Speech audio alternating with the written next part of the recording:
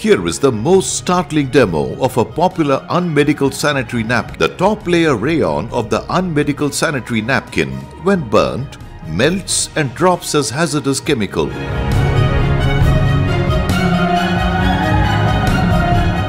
While the cotton top layer just burns out.